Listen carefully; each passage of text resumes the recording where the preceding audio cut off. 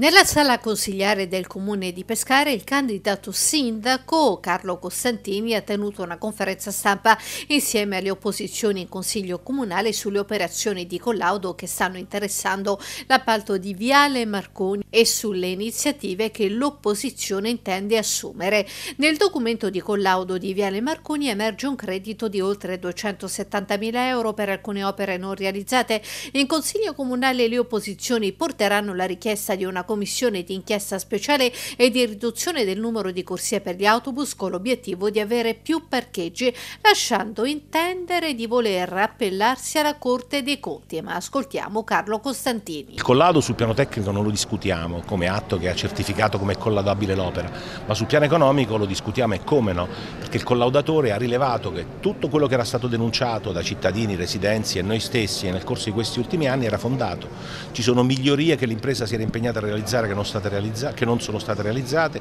ci sono opere realizzate male, ci sono interventi che si sono ammalorati in solo 15 mesi, mi riferisco per esempio alla segnaletica orizzontale, ai tombini sprofondati, tutto questo ha comportato una liquidazione in eccesso in favore dell'impresa di, di quasi 300 mila euro, quindi l'esito del collato sul piano amministrativo è che la direzione lavori affidata al dirigente finito agli arresti, quella gestione, quel governo di questo appalto ha prodotto un eccesso di liquidazione in favore dell'impresa di 270 mila euro.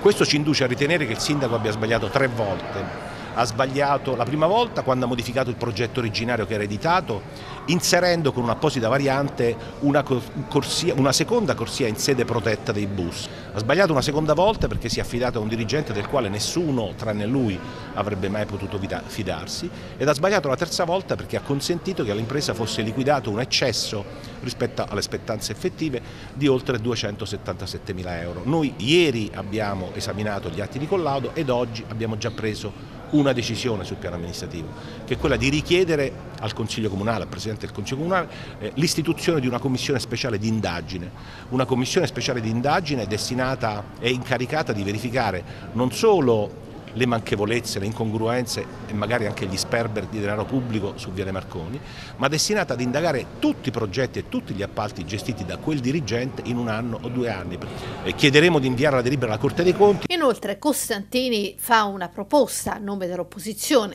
Noi immediatamente ripristineremo una sola corsia in sede protetta per recuperare diverse decine di parcheggi che saranno comunque pochi e poi parallelamente Già da domani inizieremo un'attività di coinvolgimento di commercianti e di cittadini